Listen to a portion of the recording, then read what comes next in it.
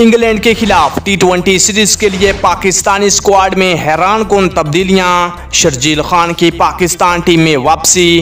Pakistani squad में कौन कौन सी तब्दीलियाँ होंगी? इस हवाले से मुकम्मल अपडेट्स जानने के लिए इस रिपोर्ट को आखिर तक देखें। तफसीलात के मुताबिक पाकिस्तान और इंग्लैंड के दरमियान सात टी ट्वेंटी मैचों पर मुश्तमिल टी ट्वेंटी सीरीज़ का आगाज़ 20 सितंबर से होने जा रहा है, जिसके लिए पाकिस्तान टीम में बड़ी बड़ी तब्दीलियाँ होने जा रही हैं। पाकिस्तान टीम के विकेटकीपर बल्लेबाज मोहम्मद रिजवान को इंग्लैंड के खिलाफ सीरीज़ में आराम दिए जाने का इम्कान है, जबकि इन्हें वर्ल्ड कप स्क्वाड में शामिल किया जाएगा।